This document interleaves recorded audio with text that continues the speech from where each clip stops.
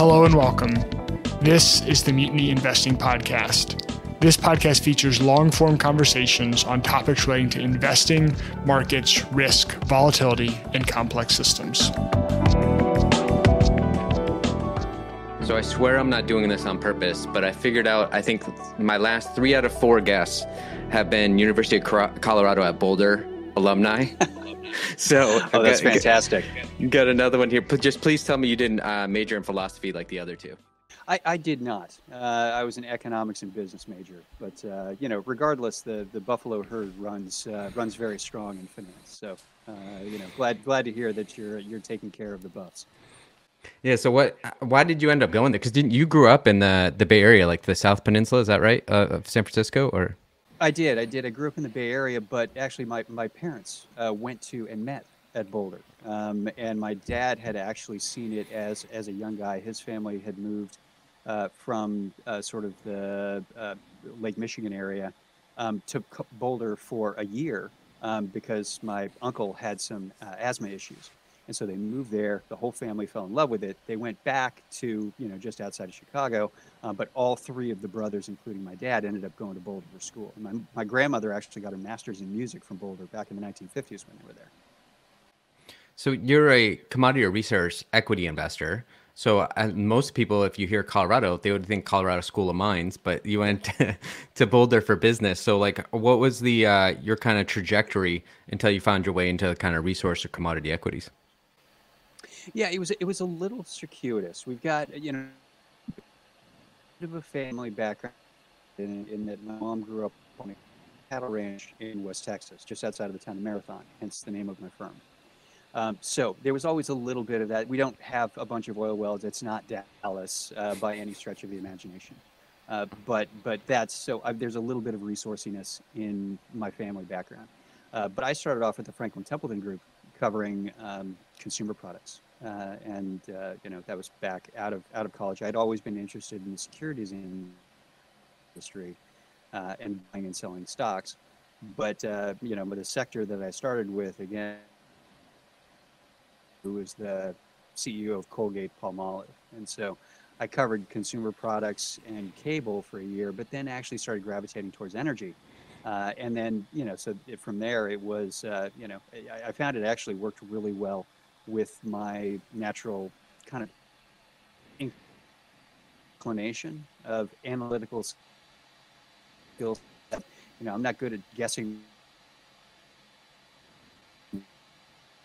what multiple goes on a consumer product, a, a, process by which I can try and buy a dollar's worth of assets for something less than that.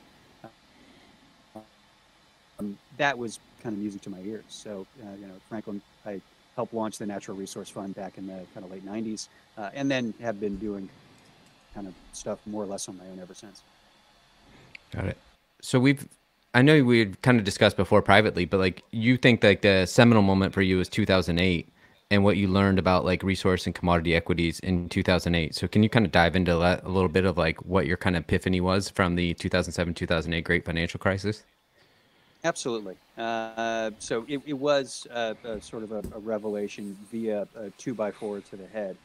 Um, you know, it was a wonderful setup for resources. That was a really good decade for resources. Basically, 2002 to 2007 was kind of glory days, kind of across all of energy and mining um, you know, the underlying demand pull was was really great because of the you know Chinese industrialization and you know expansion of uh, of demand there. Um, you know, you started to see additional supply come in, but you know, look, the stocks were cheap, inflation was picking up, uh, the world looked pretty good, and then all of a sudden, the 2008 uh, you know global financial crisis came in and swept the legs out from under it, and in fact, the resource stocks went down more than everything else, uh, despite the fact that they were the cheapest things going in.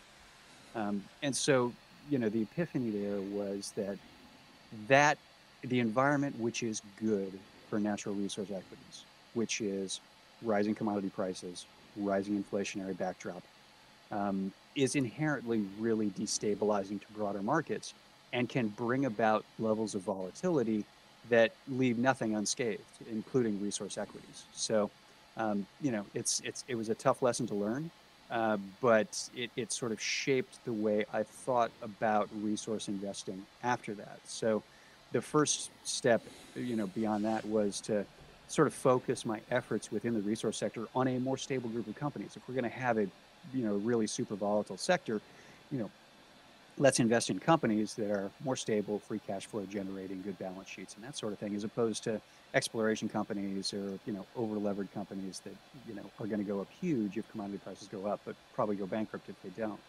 Um, so that was really the thing that I changed in 2010 with the current strategy that we're running. Uh, and then on top of that, we started to do a lot more, and this is where you and I started talking, a lot more of the way of risk management and kind of layering in long volatility on top of that, um, you know, starting in kind of 2019. Yeah, and we'll get into that like unique hedging structure that you have within your portfolio but I was thinking I was uh you know I love your your quarterly newsletters and even your monthly updates uh because I have a general romanticism I think for like real assets and commodities. I don't know if it comes from like reading Marc Rich's books or T Boone Pickens or like I just think about the you know swashbuckling Canadians you know going around the worlds to mines to to to check out you know fertilizer crops etc and like it might be it's very different for you though in sense that maybe with resource equities um, is it a lot of travel or is it be or is it more computerized these days where everything you can be kind of kind of done from home? So I did a lot of travel earlier in my career. You know, visited a bunch of mines, did the helicopters out to the offshore drilling rigs. um, you know, had all the tchotchkes to, to show for it. You know, boots and hard hats and all that kind of stuff. Um, you know, at some point you see a bunch of mines and you, you kind of seen most of what you need to see. And if you're going to do a lot of early stage um, investing in companies that are very much in the kind of pre-production phase, then you still have to do that due diligence or you have to have someone do that for you. And I've had geologists on retainer and you know people who, who kind of spend their lives bouncing around between these different projects around the world. Um, but I will say the focus on more mature companies, you know, ultimately the arbiter of whether you know a, a deposit is uh, you know profitable or not is the cash flow statement. Uh, and so It's nice to be able to not have to make sure that you know they're building in the right place or they've got room for a tailings dam or you know they're not going to be too close to a watershed or it's you know seems to be too far away from a certain facet of what they need to support the mine. You know by the time i'm investing in companies typically all that stuff's been kind of sorted out. So it's less travel than it was. And certainly the post-pandemic world where you can kind of get management on a you know half hour or 45 minute zoom anytime you want has also made that to some degree easier as well. Do you think it's a it's a certain kind of like young man that that appeals to. Like I just think about maybe it's my love of James Bond films, or I'm a sucker for any film that takes place in at least like five countries. So like if I was in my 20s and found like resource equities or mining, I would have been one of those guys like traveling to third world countries, like you said, looking at a hole in the ground, but like thinking it was the greatest thing ever until like you said, maybe you get a, a hardened grizzled veteran and then you know you've seen one hole, you've seen them all, kind of thing. But like it, it may I think it appeals to like certain people, or like you were saying, even like things saying things like cash flow and real assets uh, appeal to a very narrow segment of the populace. I feel like sometimes. Yeah, I mean, look, there's there's there's certainly a romantic tangibility to everything that goes on here. And you know, look, I was just in, you know, Morocco uh, a couple of weeks ago, and sitting in one of their central plains where a great Roman outpost was built uh, at the center of their olive oil industry. It was the only major Roman outpost that was away from the Mediterranean Sea. Um, and it was because uh, of the incredible lush, uh, you know, agriculture that was going on there. So this is the stuff that's been building the building blocks of humanity for you know 2,000 plus years. Uh, and so I think inherently it, it, has to appeal to you from a you know kind of base level. Um, you know, but that said, uh, you know, I'm, I'm not going to go out and visit the you know Nigerian oil fields anytime soon. I'll leave that to somebody else. You're not going. You're not going up the uh, to the heart of the Congo. But the um, I think about you know when you talked about the, the, resource equities, the first thing that always comes to my mind, and I'm I, am i am sure I'm probably not unusual, is this is like gold mining stocks, right? And people YOLOing you know Canadian gold miners because that's where they think they can get unbelievable leverage for like a, a gold price play. Um, but that's not what you're talking about. You're talking about like looking for actually like mature companies that have broad diversification, and just I just wanted to like clarify that difference a little bit. Yeah. So you know, look, gold stocks were gold stocks or internet stocks before internet stocks were so, you know, the, the, the amount of rank speculation that you see in a great resource cycle can be really intoxicating.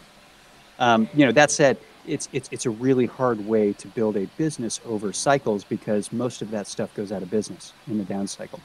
Um, and so, what I have found, and this was really, again, this is the outshoot of 2008, the lesson there was if you looked at a short list of resource companies that were flat or even up a little bit in 2008, they had a pretty common set of characteristics good balance sheets, high free cash flow generation, flexibility to the point where they could actually buy back their own stock or buy back their debt opportunistically or even make acquisitions without the assistance of outside capital markets, without the banks and uh, equity markets opening up to them. They were they were there organically, uh, and so you know concentrating on those types of companies gives you a lot of margin of safety in an industry that typically doesn't give you much. So it is not perfect in any way, shape, or form.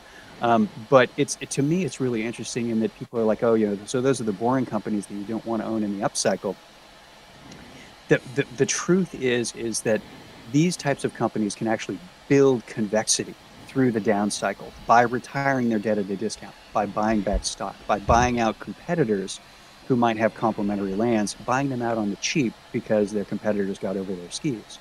Flip side of that is that the companies that you think you want to own in the upcycle oftentimes have to give away a lot of that convexity with dilutive financings in the down cycle.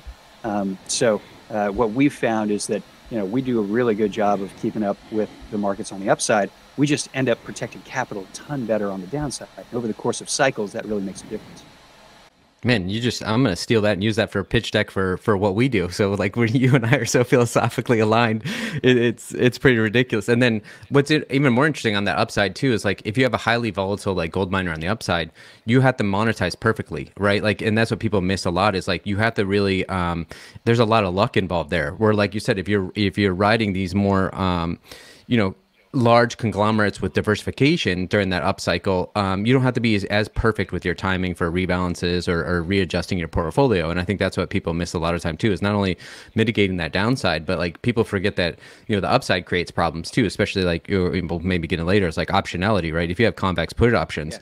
and they're, you know, deep out of the money, you better monetize those perfectly or else, you know, you, you may have missed the whole convexity party in protecting the rest of your portfolio. So it's exceedingly difficult you know, normally I like these conversations to be evergreen, but I do want to timestamp this just because we're going to talk about different sectors and everything. So we're, we are recording this August 23rd of 2022. Um, and so I was going to talk about grains first, but I think to talk about grains, you have to talk about fertilizer.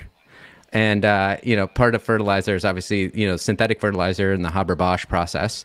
Um, but kind of tell us what you're seeing across like fertilizer markets around the world, especially what's what's uh, you know went on in the Ukraine, what was publicized in the Ukraine versus what maybe reality on the ground is kind of maybe a bit different. Yeah.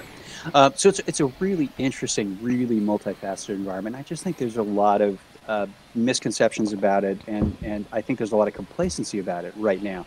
People got really concerned right after uh, Russia invaded Ukraine, um, and so there was a lot of pension needed. But quite honestly, the, the groundwork for the fertilizer bull market, um, this was ongoing for a year before Russia invaded Ukraine.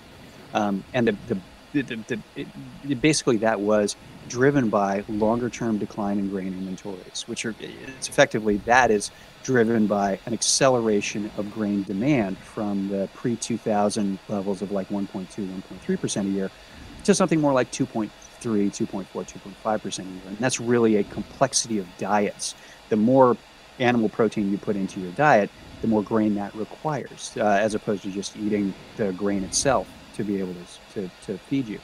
Um, and so you started to see uh, fertilizer markets tighten up post 2020. There was not a lot of incremental capacity put in.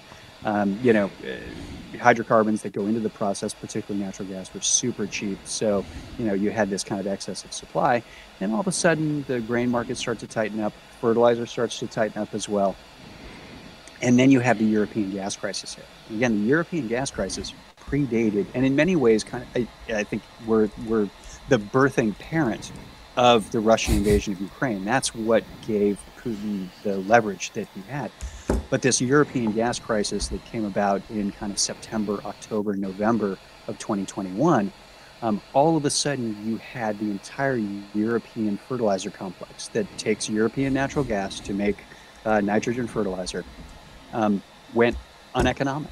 You know, when nitrogen or uh, local gas prices went up by two, three, four fold, all of a sudden they had to shut down because it was uneconomic for them to produce fertilizer because their input costs had gone up so much. So all of a sudden, the global fertilizer markets tightened up. So you know, then all of a sudden you start to have these follow-on effects where farmers are going to apply a little bit less fertilizer because it's so expensive, but that's going to make yields drop. And so you're you're basically you're you're putting off some expenses today that likely lead to even tighter grain prices happening in you know in six to nine months once we get through another harvest cycle.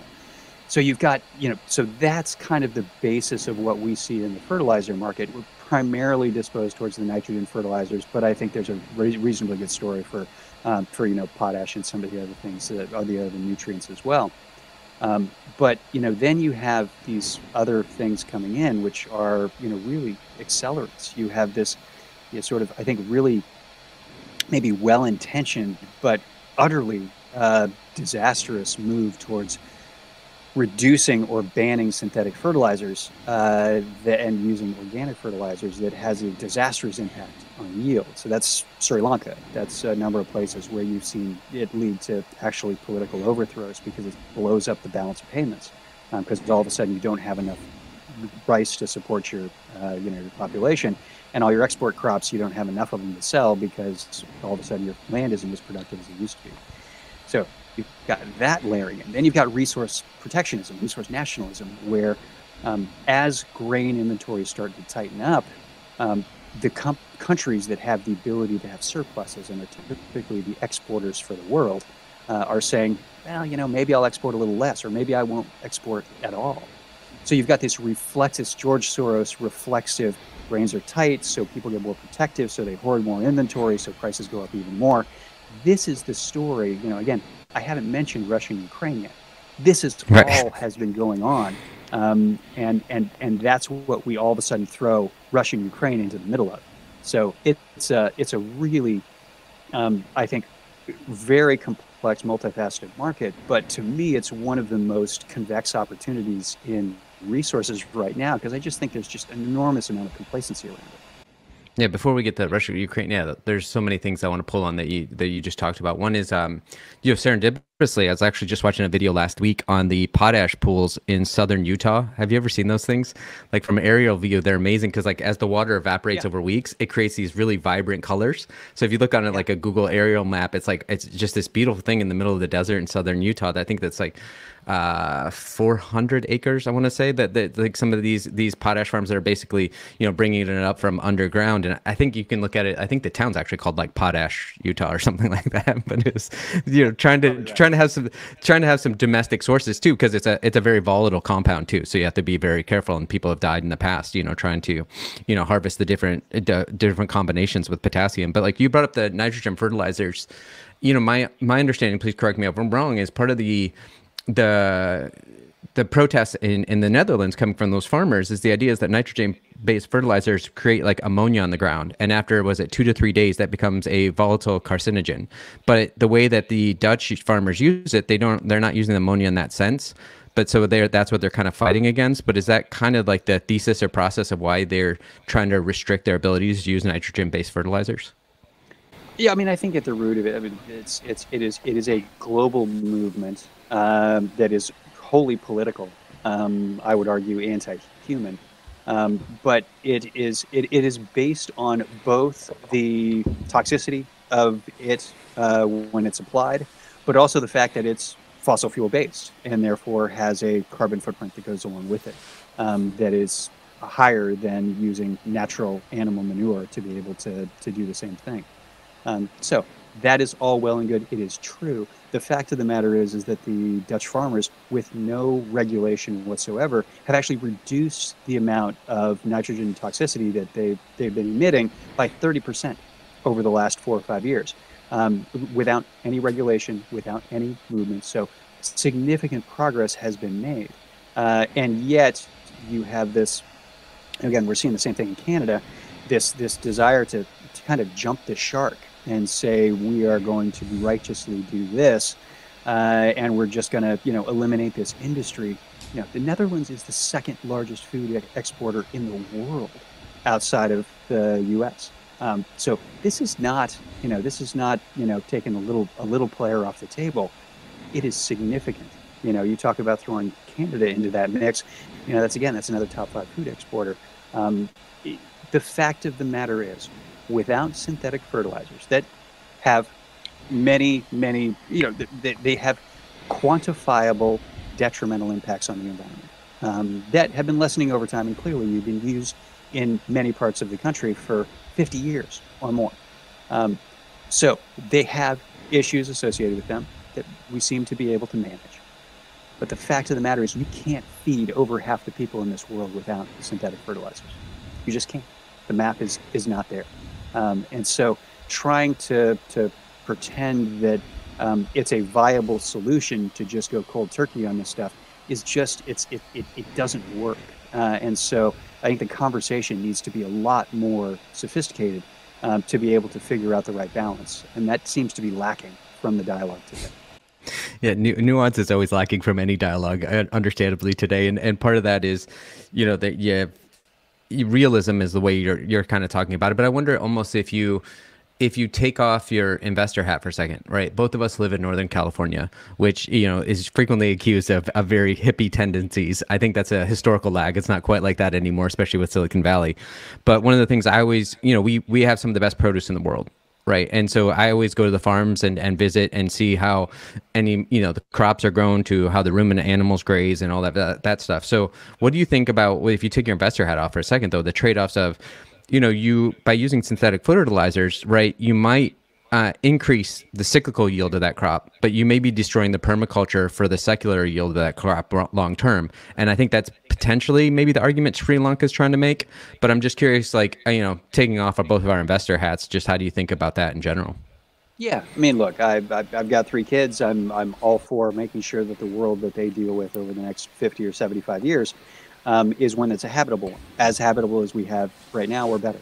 Um, I think the evidence uh, of, you know, look the Central Valley of California is the most fertile, productive place in the world and, you know, has people traipsing all the way through it all the time um, and has been using fertilizer, one of the, you know, original places where fertilizer has been utilized extensively since, you know, again, since like the 1940s, 1950s.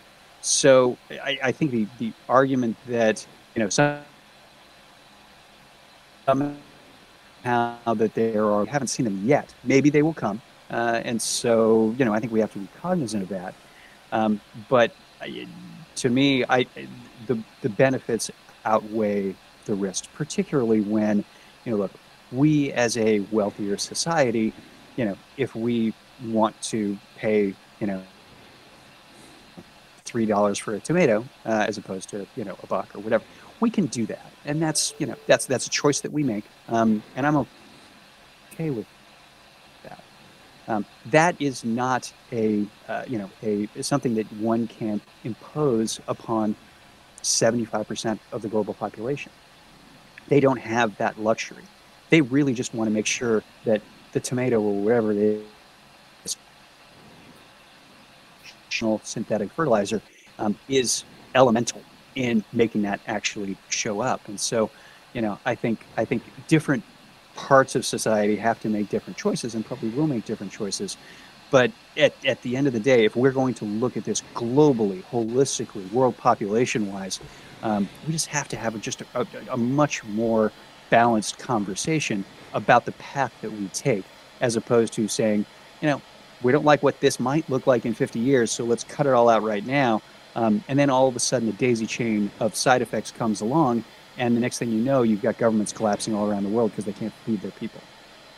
Yeah, I mean, there's nuanced trade offs all the way down. I, I usually bring up in the, the early 1900s, uh, a lot of farmers used to raise pigeons so they could harvest the pigeons for their bones, crunch them up, and, and distribute them fields. And a lot of people don't want to live like that anymore either. And they would think that's a torturous process. But then also, like you referenced earlier, is like the the history of, of natural resources is fascinating if anybody wants to study it. Like, as I'm sure you're aware, is like the guano wars of South America between Chile and Peru is the reason why Bolivia still no longer has a port, you know, because we were fighting for these abilities to grow crops. I mean, it's that that Malthusian bargain from I think it was 1799 is Malthus, and we're still always debating it to this day. And like you're saying, without Haber Bosch and all these other synthetics, we wouldn't be able to grow the food to increase the carry capacity. And people can argue on either side of that, uh, whether that's good or bad. But this is the world we live in, so there's a, there's a certain amount of pragmatism to it. But I want to go back to before I get too afield in my my ramblings. I want to go back to grains and yeah. and because that's what we are talking about fertilizer first and how that affects grains. But the way I want to use maybe grains in this scenario that you started to hint on already is everything that I don't think it gets talked about enough, but everything in, in, investing is expectations. What are the current expectations, right? And did the numbers come in to uh, go above or below expectations? And it, so it's that tertiary effect of what really moves markets. And so you were already referencing about like the Ukraine is all we saw across the news media was it, Ukraine is the breadbasket of Europe, and if that, those grains get destroyed, everybody's screwed. So then, it, just because of that news cycle and expectations, it seems like grain prices skyrocketed, and then the news comes in, it's not as bad as we thought. So then they tank. So I'm just wondering, like, how you like talk me through like Ukraine grains, and then therefore how we think about expectations within the commodity markets. Yeah, so I mean, look, most grains are actually down year to date, and they were up before Ukraine happened. So again, the market is more complacent today than it was in mid-February before the tank started rolling, um, which to me is is pretty remarkable. I think the expectation set again, people, there aren't a lot of folks left who play the commodity game, um, and so when Ukraine happened and broader market weakness was happening, all of a sudden you kind of had to be had to have exposure to resources. Nothing else was working. Um, so, you know, energy and grains and all that stuff was. So you had a lot of people who, I, I think investors bought it because they felt like they had to be there. They rolled into DBA, the agriculture ETF. They rolled into, um, you know, Nutrien and Mosaic and all of these companies uh, with the expectation that, you know, it's just, I, I kind of have to be here. It's not because they had a really firm view of the long-term secular bull case for grains. It was, God, I'm getting killed everywhere else. If this Ukraine thing really goes sideways, I need to have exposure that's going to work. So, the the what came out of that was, you know, look, the market system is, or the world, the global food system is very sophisticated. We pulled down inventories elsewhere that we, you know, to be able to cover the balance of what was supposed to come out of Ukraine. But really, the impacts are, are really, you need six to nine months to really figure out the impacts because that's a typical, you know, kind of crop season. And so we haven't seen the impact of reduced fertilizer usage. We have not seen the impact of what looks like now pretty difficult growing conditions in China, in India, in parts of the U.S. Midwest. All of these things are coming together, and when you know when you get crop estimates for uh, how, how what yields are going to look like. They're pretty good at adjusting for weather, um, although they tend to be kind of they're, they're momentum chasers in some ways. You know, they're high, high, high until the numbers get marked down, and then they rush down to meet them. What they are not very good at doing, because it's been a long time since uh, fertilizer prices were really this high, is adjusting for the impact of reduced fertilizer application. And I think we just need to go through a growing season to see that. So that's where I think the expectation set is missed. I think people are still looking at, you know, 170 uh, bushels an acre corn. Um, you know, I think we might come in at 160, maybe even lower. Um, and if that's the case, uh, you know, then all of a sudden, uh, you know, the market goes from, you know, tight-ish to really tight and you compound that with what I foresee as the resource nationalism and the hoarding at the government level, um, you know, then all of a sudden you've got a market that goes, you know, commodity markets are commodity markets. You got a little bit extra, you know, pricing is, you know, kind of goes along and is okay. The moment you get short, um, you know, things start to get a little wonky and go to the upside. And that that's where I think grains sit.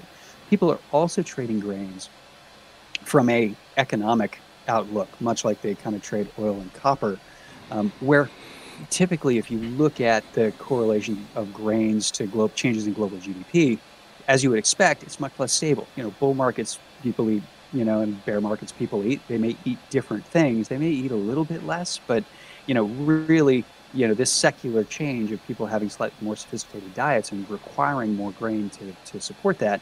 Um, that's an ongoing kind of steady up and to the right uh, kind of trend. So uh, I think you're absolutely right people rushed in because the potential impact on agriculture was bigger than energy, which it was.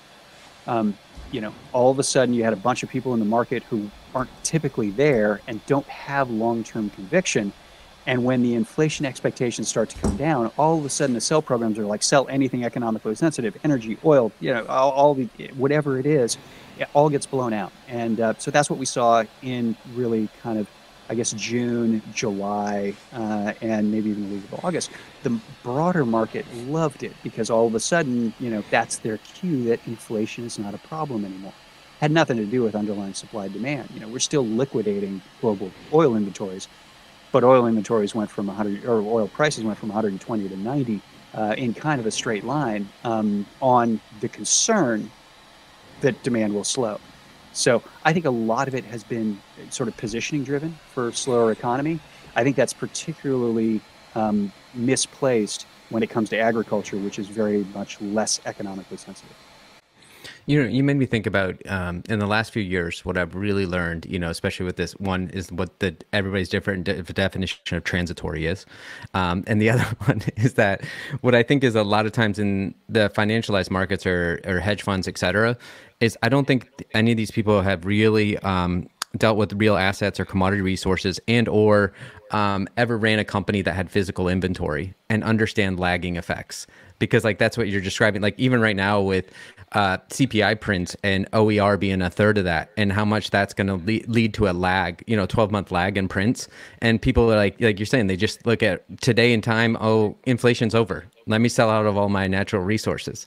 And so there's like these really lagging effects that people don't realize when you start dealing with bullwhips and supply chains and all these sorts of things. Like these are really slow moving, you know, cargo ships, but they're but they have like volatility in between. So I can't really mix metaphors there. But like that's the difficult part about it. And maybe that will help because you started initially to talk about it. But the the helps us transition to like energy and specifically oil. I mean, we talked a little bit about nat gas, obviously, but with oil, I thought was a great quote in your latest uh, quarterly newsletter that it's a it's a previously it was a market that had a ceiling but no floor, but you feel that's changed now. Yeah, yeah, I think that's and, and that's something that is not priced into energy equities. Um, what I think is, and, and, and the way I sort of put it is, we've got a pivoting convexity in in the oil markets for the better part of the last 40 years, you had some very firm things that, that sort of put a ceiling on crude oil. Whether it was excess OPEC capacity, that they were there to be able to kind of make sure that the market was adequately supplied and didn't get out of hand on the upside. Whether it was industry who had responded to higher prices by ramping up capital investment uh, and therefore having the ability to add additional barrels, oftentimes near the end of the cycle, which was absolutely, you know, the worst time to do so. Um, and then you also had demand destruction. So all of those things were there to kind of keep, to some degree, a lid on oil prices uh, in the past. Now, of those three things, two of them are kind of gone. OPEC's got a little excess capacity. You could argue Saudi and UAE, maybe a million, million and a half barrels, but in a hundred plus million barrel a day market, that's not a lot. Um, industry is not responding to higher prices and is in the midst of a 10 year decline in capital spending um, that's effectively put us kind of a trillion dollars plus behind the ball. The money that should have been spent to increase production in 2023 and 2024 and 2025 needed to be spent in 2016, 2017, 2018, and it wasn't. So even if we pivoted, even if you know the uh, the you know current administration and uh, the oil patch, you know, grabbed hands and sang "Kumbaya" and said, "Let's get after this." Um, it's five to seven years until you get really incremental, significant oil supply from the globe. You get some shale faster, but you know the problem is that's and that's something that I've done a couple of different videos on. Um, that's an, that's a place where we kind of mistakenly blew through all of our good inventory really fast and really early. There is still legs to shale, but it comes incrementally more expensive and it becomes incrementally more difficult. We're not going to add another three to five million barrels a day out of shale. That doesn't exist. Can we add another million barrels? Yeah. But then just because of the decline rates, you know, then you know shale goes to you know seven eight million barrels a day all of a sudden you know you're losing a million or a million and a half barrels you've got to drill just to keep that going so that's the nature of really high decline stuff so um, so that's the upside is that so the upside is no longer capped. I you still have demand destruction as a potential cap. But what we've seen in a couple of different markets is um, prices go up really high and kind of stretch the consumers' mindset as to how to think about it. You know, diesel prices went to six or seven bucks. Um, European natural gas prices are going to the equivalent of $300 a barrel uh, of, of, WTI oil prices. Um, a lot of those prices are more expensive in other parts of the world because the dollar's been so strong. So again, you're kind of stretching what the consumer is good. Now that we've come back off of it, you know, the next time you go up to levels like that or even close, you're like, yeah, it sucks, but we've kind of been there before. So I think I think consumer abilities to withstand higher energy prices, at least on an emotional basis, are being stretched. So, so again, most of these upside caps are now gone. Um, industry is not there. OPEC is not there in terms of the ability to bring on additional volumes quickly and easily. Um, but to, to, me, it's actually the more interesting part is the floor. Uh, is is that you know you, you often had you know, again industry typically invested a ton at the peak of these cycles, and they're not going to turn off stuff once they turn it on.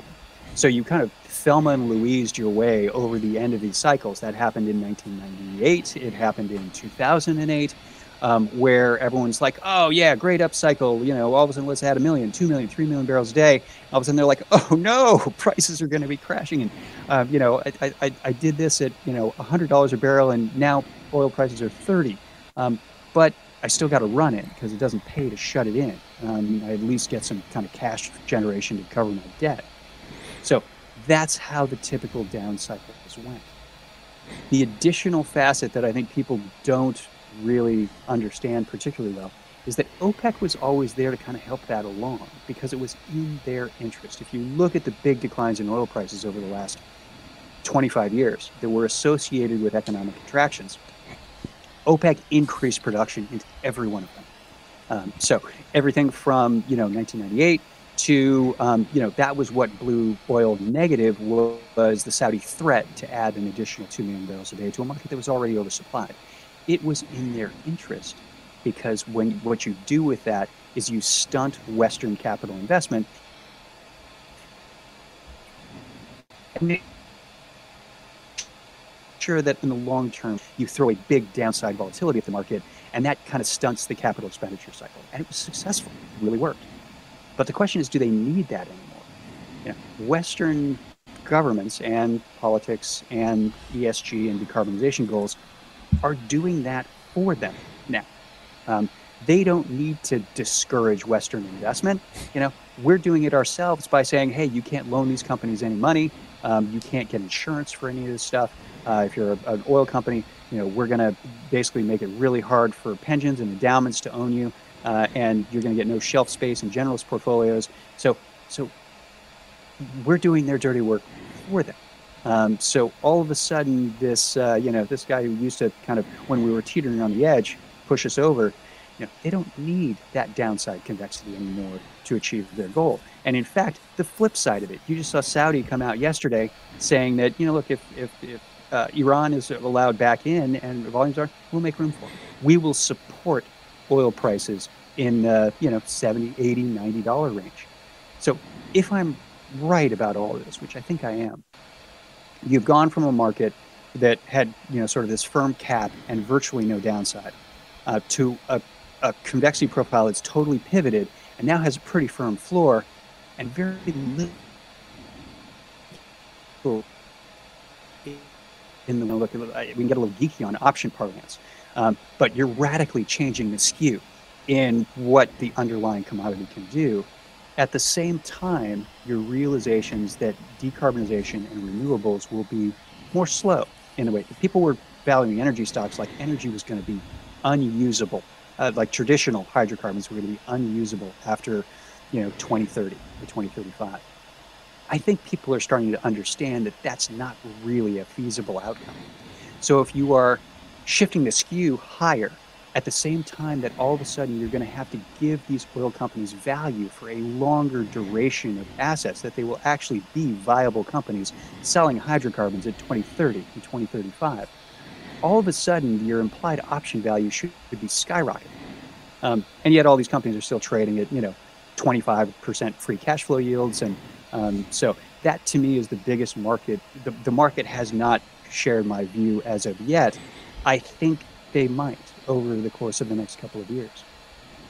Yeah, that's a great way of putting it. That you took an asset class probably from uh, a, a, negative skew to a positive skew, uh, but said more colloquially or succinctly, like you said, maybe previously the market had a ceiling and no floor, and now the market has a floor but no ceiling is a way to look at it. But then you brought up shale prices too, which made me think about um, the other even thing on top of that. We start layering in more complex- complexity is uh, refining capacity, and that's another capex problem that we ran into and it, it right now we're dealing with crack spreads, which is the difference between you know that that price per barrel of crude that you see and then price you pay at pump. And depending on what region you're in, those crack spreads exploded, and that's why people are paying you know a lot more at the pump. Is a lot of that that delta that expanded between there. But I think I may have stolen this from you. It's hard to remember. I've been reading your work for a while. Is like you know, everybody says that the U.S. is energy independent, but it really depends on the quality of crude and the quality of the refining facilities. So we actually have to import more of like the higher grade stuff. Is that correct? Yeah, we actually we have a grade mismatch. We have inherently right. very um, uh, complex refineries, so we actually have to import the lower grade stuff. We want, mm. excuse me, um, we want kind of junkier crudes because we've got the biggest, expensive, most because that's the stuff that we needed to run when we were, you know, importing a lot from Mexico and uh, you know uh, South America and places like that. Um, and uh, and all of a sudden we've got all this domestic production which is really light and sweet and you know shale oil which has lots of you know high end uh, uh, liquids and things like that associated with them so we need to bring in some of the heavier stuff, Canadian oil sands and things like that, um, or other, you know, uh, South American crudes, Mayan blends and things like that, to be able to make our refinery system. So yes, technically, we're still not there yet. By the way, technically, we are getting closer to energy independence, but there is a mismatch in that that which we have is not which processes well through the system that we have. So we're still reliant on, you know, again, we got a bunch of that stuff from Russia too, you know, heavier grades coming out of the Urals, um, which was part of what, you know, was able to run our system well. Yeah, Europe is the same thing. They've got pretty complex refineries as well. Hmm. And then there was a there's two random questions I had when we were talking about agricultures and grains and fertilizer. Is one I don't I'm sure you followed Peter Zeihan, but like you know one of his thesis is that you know, in the when the USSR broke up, we had this unbelievable flood to the world of almost like commodities or resources and capacity, and you know, we're seeing kind of like the tailwind of that. And then when you know, with the like when it comes to like nitrogen-based fertilizers, potash, that sort of thing, um, do you have any pushback, or do you you kind of agree with his thesis about you know that we had a flood, and that's actually gave incredible tailwinds to places like Brazil, where they could import you know cheap fertilizer. It led to that unbelievable growth boom in Brazil and, and the natural resource side. I think you can actually make an argument that's even bigger than that. I totally agree with Peter. I think his his his, his writing is, um, is, is brilliant.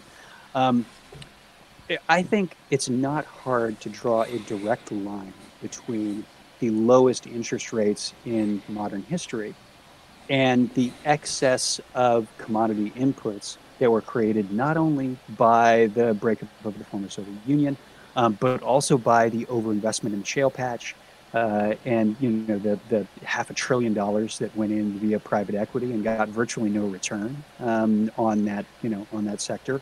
Um, you know, so what you had was a very extended period over the course of a decade and a half, two decades, of really low commodity prices, um, which enabled growth in many ways. Um, as you say, the development of Brazil and a lot of things, emerging economies who were consumers of those commodities benefited considerably.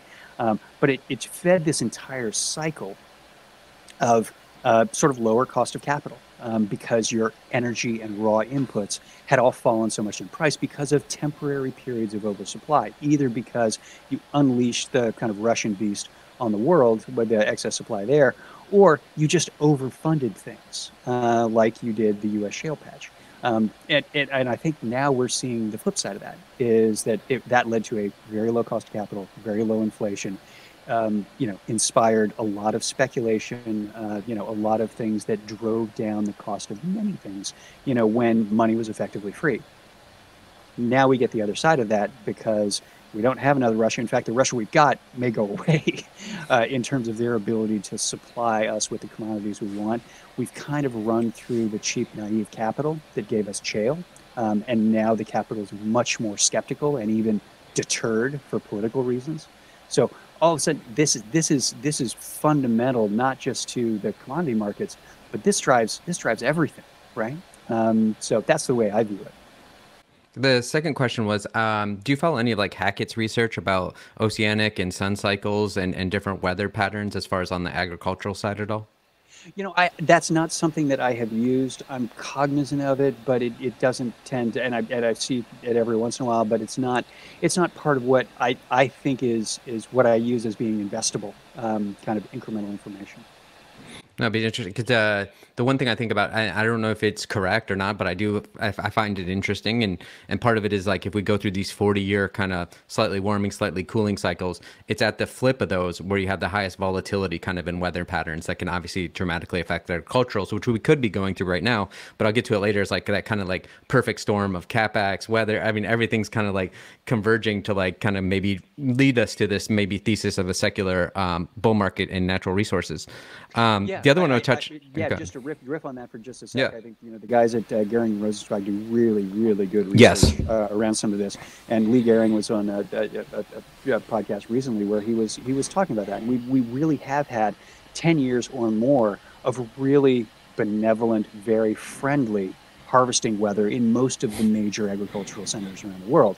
Um, and it now looks like that may not be the case. When the world becomes dependent upon a continuation of you know really uh, you know easy growing conditions and, and, and optimal growing conditions, you know when systems break down are tend to be when they're tight and things matter. I mean, who uh, would have had on their bingo card that you know I would be checking the water levels in the Rhine and the Yangtze River every day now um, to help understand my agricultural and energy outputs.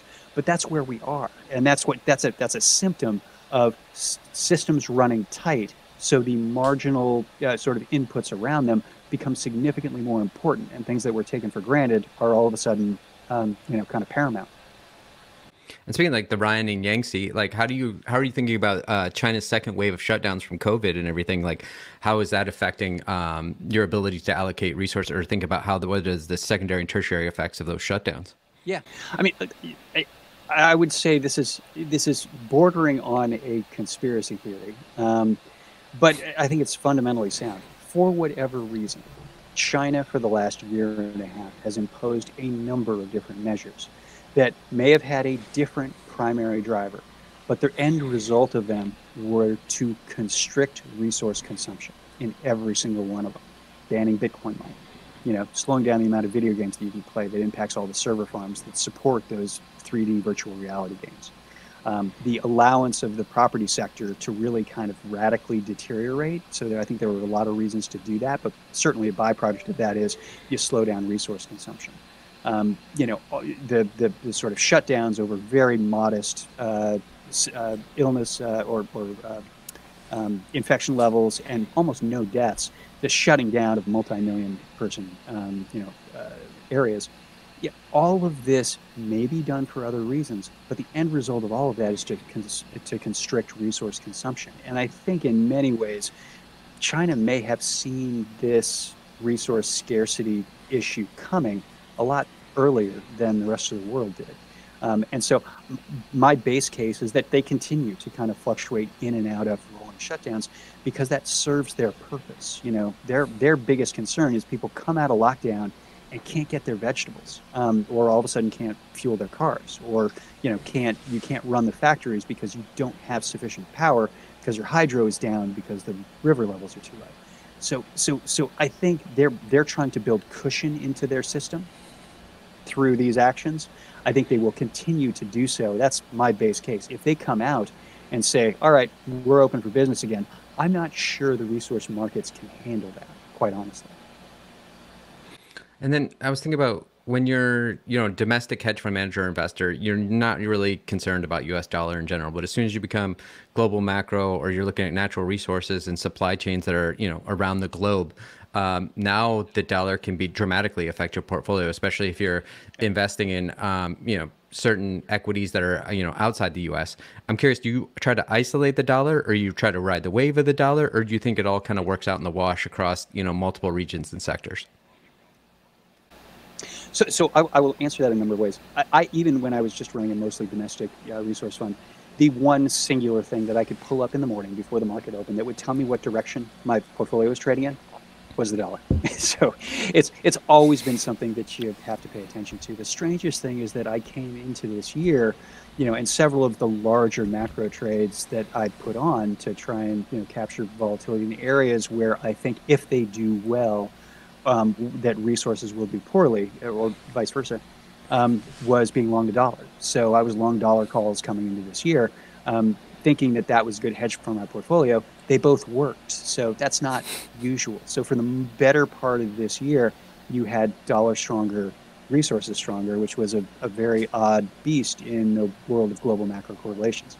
So you saw that correlation reassert itself, um, you know, as kind of, you know, after the kind of April top, where dollar continued to rally, all of a sudden economic concerns took uh, center stage, and you know that sold off. So um, from a broader standpoint, I always pay attention to it, you know, and, and, and you have to pay attention to it in terms of like global affordability of commodities and, and things like that.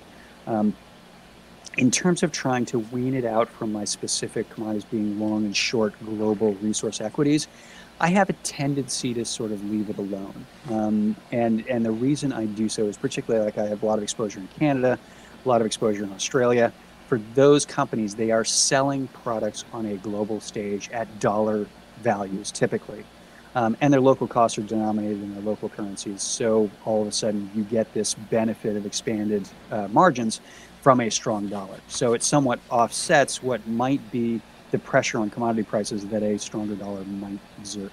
So, you know, I, I, tend not to mess around with it too much unless I have a very specific situation where I'm very concerned about a currency for one reason. Quite honestly, I'm I'm relatively bearish Canadian dollar right now. I think there's a perception that it is a resource economy. Um, that's really a de minimis part of what drives Canada these days. It's really a leveraged real estate financialized economy. Um, and that I think is going in the wrong direction. So if there was a place where I was, I would kind of say, let's let's hedge out our risk. It's probably CAD today. Yeah, you, you segued me pers- perfectly. Is like what I love about your portfolio is not only do you have um, these natural resource or commodity equities, but you also hedge the portfolio too because of that, that volatility inherent in those markets. And so, like you're saying, that was interesting. The U.S. dollar calls um, is a way to hedge the portfolio, but maybe not so much now. And then I was thinking about some of your other hedges, and you brought up a perfect one because when I was reading your stuff, is like you're short Canadian housing. And I'm like, how does that have anything to do with what we're talking about on the natural resource side? But you just, uh, I think, eloquently kind of stated your thesis on that. But it's like, is that what you have to do sometimes? Is maybe move farther afield from when you're looking at the hedges? Is thinking thinking about the secondary, tertiary effects of like, how do you hedge maybe a, a long play on certain Canadian mines or natural resources? Like you actually have to you have to actually short their housing market as a hedge. Yeah, well, I think I think that is true, absolutely. Um, I think it's even a little bit if you if you pull it up a level um, in terms of macro outlook. Um, you know, what is right now my biggest vulnerability as a resource manager? It's that global central banks, particularly North American central banks, are more aggressive than the market currently expects. That's where people get concerned that you know we don't have a dovish pivot, you know we don't have this decline in rates that starts next year, um, and so that and and that impacts people's concerns about growth. So, who would be the biggest loser from you know the Bank of Canada going 75 and maybe another 50 or another 75? By far, the biggest loser there is the Canadian housing market. I think the impact there is way worse than it would be for energy or you know or copper or anything else consumption. So to me, that's a much more asymmetric way to look at it. I you know I, I'm short some energy select energy stocks you know short some things in the you know kind of lithium space. I'm sure. So I have some some kind of classic in within the silo resource shorts. Um, but to me, to the real vulnerabilities of my portfolio from a macro basis, I think that the asymmetry on being short Canadian housing right now is just so much better. Um, you know, it's, it, Wiley Coyote has left the edge of the cliff. His legs are in midair, and the cloud is dissipating, and he's about to look down and say, "Uh oh, um, that's what Canadian housing looks like to me because prices have already broken. Um, you know, you're already seeing the credit distress and uh, you know the personal bankruptcies uh, and the the resetting. They reset their uh, uh, mortgages every one to five years, so no one terms out for 30 in Canada. You roll at one to five years. and that stuff's all resetting 100, 200, 300 basis points higher. Huge impact on consumer spending. So the only way that I think the Canadian housing short doesn't work is if all of a sudden you see Western central banks, and particularly the Fed and the Bank of Canada, immediately pivot and start cutting rates today, which would be hugely bullish for the rest of my portfolio as well. So, you know, from that standpoint, I just think there's there's there's more convexity in being short um, Canadian housing than there would be in adding more uh, short resource exposure.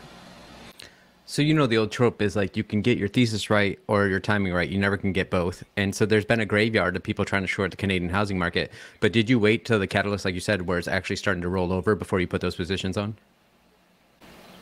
Yeah, it's an area that I've studied for, gosh, almost 10 years now. And I've got uh, a couple of different consulting firms that I use up there to really give me the on the ground data that I feel like I need. And so I looked at it, God, six or seven years ago, um, you know, back in 2014, 2015 looked at it, you know, shorted a little bit in it, didn't do much, but really have just been patiently waiting. That's something that you know age, uh, you know, kind of gives you is the ability to say, I don't have to be there today. So I really just started started shorting the Canadian housing stuff in the last three months, um, and that's really when the fever started breaking, where rate rises started to impact the ability of these people. When you where you started to see um, people, you know, trying to sell their old house, buying a new house trying to sell their old house and then all of a sudden not being able to sell their old house for what they needed to be able to pay up for the new house. So you had all these, um, you know, sales breaking down and, you know, uh, people having to go towards alternative forms of financing that are super expensive. So that was really the catalyst to get in. And I just, I, I think we're there. Um, it, I don't know the pace at which it will progress from here. But if I had to have a Rip Van Winkle short for the next six to nine months, um, Canadian housing would be it.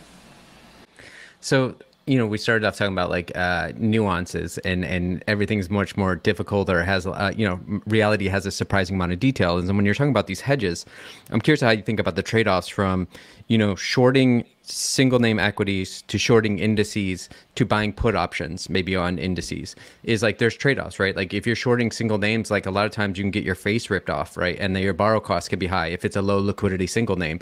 So maybe then you move to index but the index may not have quite the volatility you're looking for as a single name has but you have a little bit better liquidity maybe a little bit better borrow costs.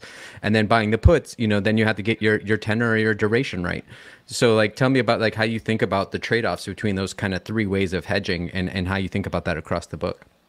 Yeah, so I mean, great, great questions, and it's uh, it's it's it's utterly dynamic. To me, it's how do we achieve our end goal of being able to hedge out some sector risk, some broader market risk, um, some you know country risk, et cetera, via our short and hedge book at any given time. Uh, and so, you know, you look at sort of fourth quarter of last year, it was still really in, inexpensive to uh, express that through put options. Um, implied vol was cheap, so you know I didn't have a huge short book, um, but I did you know have uh, you know rolling you know pretty heavy option positions over the course of you know kind of that Q4, and actually quite frankly into Q1, um, which was part of the way that we we made some pretty good money. Um, as we kind of worked our way through Q1 and into Q2 and vol picked up considerably. That's where I expanded the short book because the put, you know, options started to get so expensive. And when you go from using puts to put spreads, you know, you just you understand you're cutting off part of your your convexity there. Um, so you can you can offset some of the incremental spend for higher option prices, but you're, you're losing that. There's a cost to that. So that's why the short book um, that we use has expanded so much not only because that seemed like a more efficient way to do it, but because in some of these areas there are very specific themes that we can play on. Again, Canadian housing is one of them. Um, so to me, another one has been the rise of the uh, sort of some of the lithium companies that rely on direct lithium extraction, which is a chemical technology um, that is, I think, really, really complicated. And the market on the multiples that it's giving some of the companies in that space um, the market is giving them credit for processes that haven't been uh, totally vetted or, uh, or commercialized yet. So, um, you know, again, I have a long lithium exposure that I really like that is not that technology. It's very, you know, classic uh, kind of spodumene mining. Um, and so, so, so again, back to your question, shifting the character of the book, it's all about efficiency. It's how do I create the best uh, profile for um, uh, you know protecting my long book uh, from the risks that I see evolving out there uh, in a way that I think the re- potential rewards outweigh the risks of it. The other thing I think about, because you brought up lithium, is as you know, we run a, um, a commodity trend following uh, portfolio, and I, you know, obviously, I love commodity trend followers, and I love access to these real assets, and a lot of them can trade sixty to eighty markets. But as a lot of them have gone for higher AUM, there's a lot of smaller, more illiquid markets that don't have the capacity for them to trade, so we don't get exposure to it. And I'll, I'll use like lumber as an example. Very few people trade lumber. Everybody was excited about lumber, you know, a year ago, and they're talking about it was lock limit up, and I'm like, yeah, because nobody trades it. But do you think like through your uh, single name equities, like you can get broader exposure to things like lithium, rare earths, um, access to Canadian timber markets, like so, some of those things that like a lot of people aren't trading, but you can get access to single names. And then once again, the nuance or the trade off is that now you're getting access to those natural resources, but now you have a governance governance overlay where you have to pick the right company. Yep, absolutely. Um, and so for us, that's the way that we use. And again, our my specialty has always been analyzing companies. So If I can get commodities generally right, what I'm really good is at, good at is finding, or at least hopefully good at, is finding ways to express that via equities. Um, so I mean, our quintessential uh, sort of uh, example of that was tin. You know, so we were very long tin stocks uh, for the better part of the last almost two years. Very niche market, almost impossible to do uh, in actual futures. Um, but an area where there were some really inexpensive equities that if the tin price doubled, they would go up you know, they'd quadruple. Um, and that happened. And then all of a sudden, people did, you know, you built a little bit of excess inventory in the tin markets, and all, both the stocks fell by 50 or 60 percent. So, you know, that's life in the in the resource sector. Um, but yeah, I totally agree. It's it, it, it, trying to trying to understand the relationship between where do I find the most efficient way to express a view about commodities via equities. You know, that's that's the bread and butter that you know I've been developing over the last you know, 30 years. And then to me, the most important, important or exciting part of your book is your yield side of the book. And so over the past, I've always looked at, you know, positive ways to carry like say gold with like the royalty companies like the Franco Nevadas of this world or or um, lending it out um, to the manufacturers like Monetary Metals does. You know, everybody's trying to look for like a positive carry convexity as you've called it. Um, but I think that's the what's most interesting about is like not only are you getting all these price appreciations and this expansion in the space, but the yield book keeps increasing. But once again, talking about trade offs and nuance again, there's a trade off between you know, capex spending, paying down debt, you know, doing stock buybacks versus increasing their dividend yield. And so you constantly have to be looking at what they're doing. And and it's interesting. You always talk about how they kind of feed each other. If right now they're paying down debt, that means in the future, eh, if prices stay high, sustained, or increase, they might be increasing their dividend yield in the future. So how do you like really think about predicting that dividend yield and then thinking that yield is covering maybe the downside of the prices that you're also hedging with your hedges part of side of your book. So you're trying to get to that as close as you can to this, you know, positive carry convexity component. Yeah.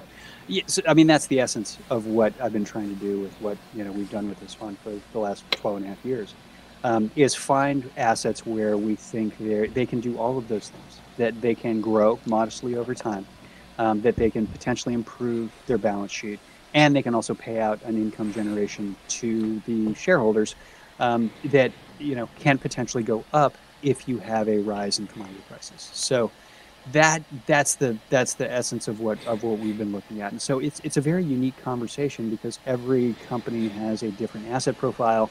Everyone has a different kind of reinvestment intensity that that they have to do to make sure that you maintain that.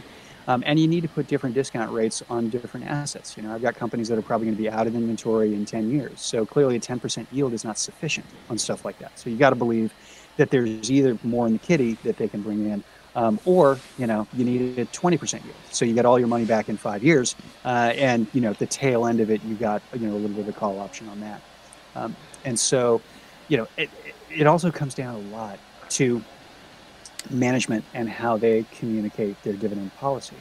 Um, because you know some have gone to very regimented ways. We will pay out 30 or 40 or 50 percent of free cash flow over a certain level what we have found is that the companies that get rewarded for dividends are the ones who are clearest in the way that they articulate how that, that's going to be paid out uh, and why. You know, look, 50% of free cash flow over, um, you know, base capital expenditures, which is going to be this.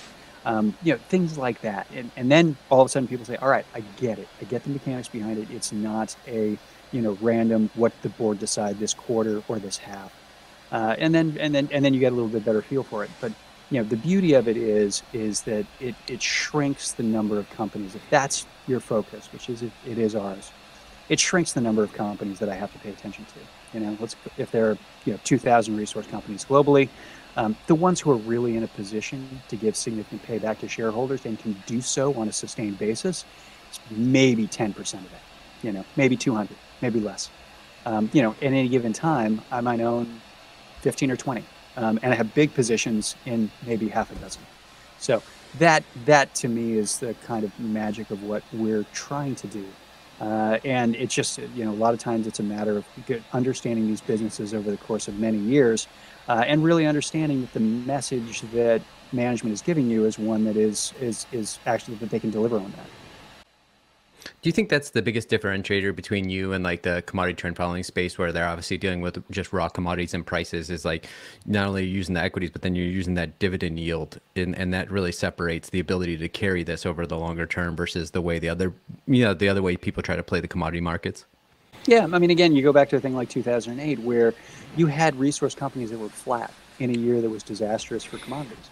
Um, and so, and that was because of their corporate structure, because of their free cash flow generation, because of their ability to improve the underlying asset value of the company opportunistically um, in downturns.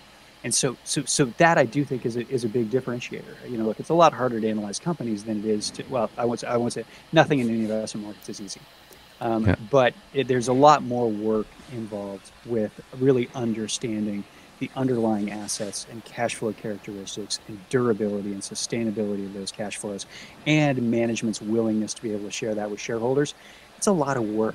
And quite honestly the number of people who really pay attention in the resource space has atrophied in such a way that it's you know it's de minimis these days. You know it used to be you know 15 or 20 years ago every big hedge fund you know had three or four commodity cyclical folks. You know now they have you know 25 people in tech and healthcare and you know maybe someone who covers something like cyclicals.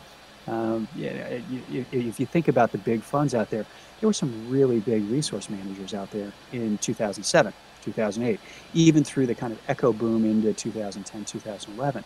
But you look at the kind of atrophying of the entire sector.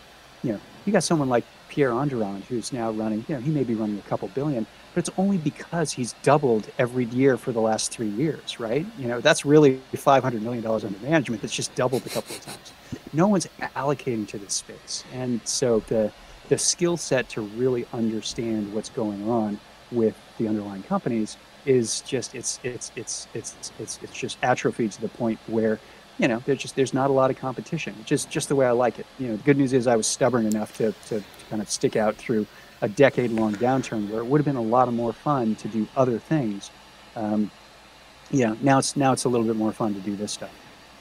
Exactly. And then the other place where we're uh, two peas in the pods is with ergodicity. And the idea of, especially with your yield book, is by having hedges on, when those equities start to crash and you have these convex hedges that give you a, a lot of cash on your books, now you're able to buy back those equities for pennies on the, do- like pennies on the dollar or lower NAV point, let's call it. But even more importantly, with your book, that is actually increasing the yield. And I don't think people are thinking about that a lot. It's like, so do you almost get excited about these pullbacks because you know your end client investor done well? Well, it doesn't it doesn't matter about the time on I mean the actual ensemble average is when they're rebalancing due to your hedges, they're going to increase their yield book over time. And I mean, there's got to be a point almost where the yield book kind of subsumes the actual like other side of the book in, in a way.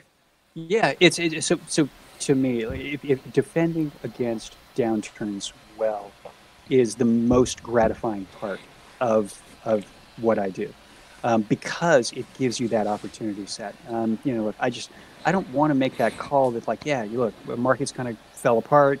Um, you know, they're down 30, we're only down 20. Be a great time to invest more money. What I really want to do is, you know, look, we've we've increased the organic yield of the fund, you know, from eight percent to 13 percent because stuff went on sale um, you know, and we defended capital relatively well. that that to me is enormously gratifying. I wrote in what kind of my original big macro piece. Um, I, I, wrote about Frank Lloyd Wright and the Tokyo uh, Imperial Hotel, um, and and the feeling that you know, again I won't go through the whole story, but he effectively built something in a way that no one thought he should in an earthquake-prone area that um, survived an earthquake that no, many modern structures did not. Um, and it was because of the thoughtfulness of design. It was designed for where it was and the the, the, the natural um, environment that it was sitting in. Um, getting that telegram that said, you know, hey, your uh, hotel survived a, an earthquake that leveled two thirds of Tokyo. Um, thank you. Um, you know, it sheltered many of the people in the, in the surrounding areas, et cetera that you know that that moment was very visceral to me as a fund manager because that's the role that I want to play for my investors to be able to preserve capital in an inhospitable environment is um, you know that's that that that that's where we should earn our chops. That's perfect. I, sh- I should end there if I was a good podcast host, but I, I just had like one other question for you because you know your your newsletter highlighted to me this idea I think about all the time in that if we get much more philosophical about the mind body problem what people are really saying like not the actual mechanics of it but the idea is like we have a human animal nature to ourselves uh, that's obvious that people tend to run away from but then we have the societal nature and that's like to me the mind body problem is those are always in conflicts with themselves. And related to almost you have this bifurcation in investing where you know you have these long risk on cycles where us living here in the Bay Area is like um, tech does incredibly well. So I think about you know during those times, those bull markets are risk on, we can get much more um, digital and ephemeral in the way we invest. But then nature always kicks back in and takes us back to real assets and being able to eat at the end of the day. And that's when the commodities kind of jump out from behind the curtain. So i'm curious about like how you think about that trade-off is like we live in this fictitious world during risk on and then almost during risk off we go back to like maslow's hierarchy of needs. And so building maybe a, an investment portfolio that has a little bit of both like this kind of emerging metaverse combined with real assets is maybe the way to, to think about your portfolio moving forward so one of the earliest things that I kind of remember writing when I started my hedge fund back in the late 90s um, was I, I, wrote something in like 99 or 2000 that said, I think we are evolving from a decade of fluff to a decade of stuff. Um, and and and that is actually you you can you can chart that um, uh, where you have physical assets and financial assets doing this periodic dance. And look, financial assets, the, the trend is up and to the right. So over long periods of time, financial assets will outperform physical assets, and that's just the way that the world is. But you get these, you know, 12 to 14 year outperformance of financial assets. And then you get these stretches of six to eight years where physical assets are where you want to be.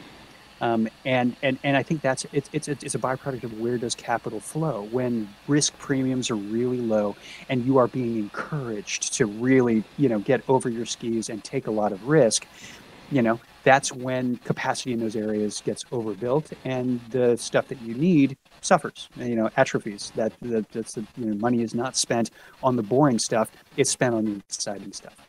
Uh, and that nat- has a natural cycle to it. Um, you know, I, I, put out a chart a few months ago that show the percent of S&P capex done by you know metals and mining versus the tech sector, and it's it's this beautiful inverse correlation of tops and bottoms. And when you know S&P when tech earning you know tech capex gets to you know 35 percent of the S&P or whatever it is, and and resource capex gets to, to like four percent, you know, it's time to go the other way.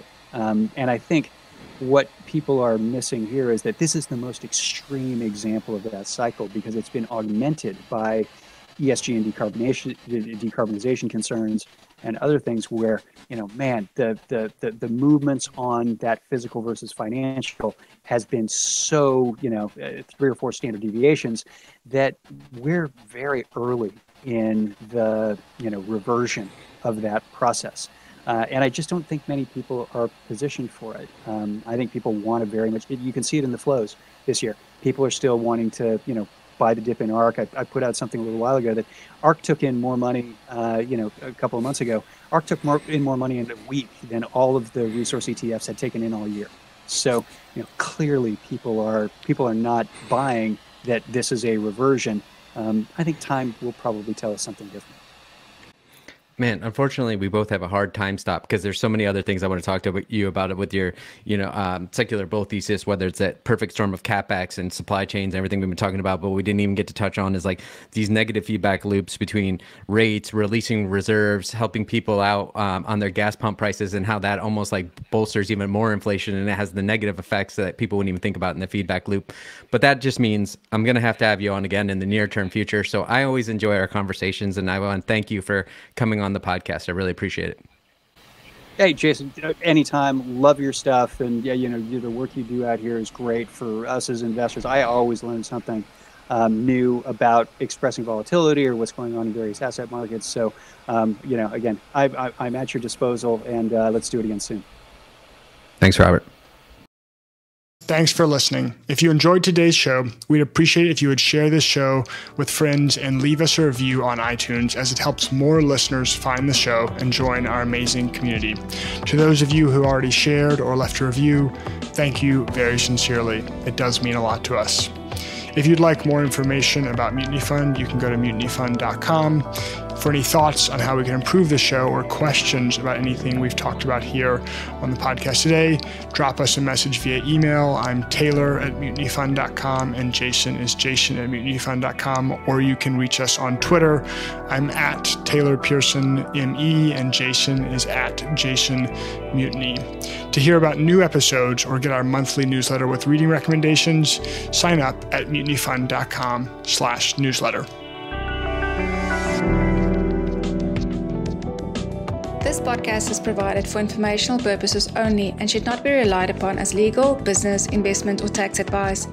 All opinions expressed by podcast participants are solely their own opinions and do not necessarily reflect the opinions of Mutiny Fund, their affiliates, or companies featured. Due to industry regulations, participants on this podcast are instructed to not make specific trade recommendations nor reference past or potential profits. Listeners are reminded that managed futures, commodity trading, forex trading, and other alternative investments are complex and carry a risk of substantial losses. As such, they're not suitable for all investors, and you should not rely on any of the information as a substitute for the exercise of your own skill and judgment in making a decision on the appropriateness of such investments. Visit mutinyfund.com/disclaimer for more information.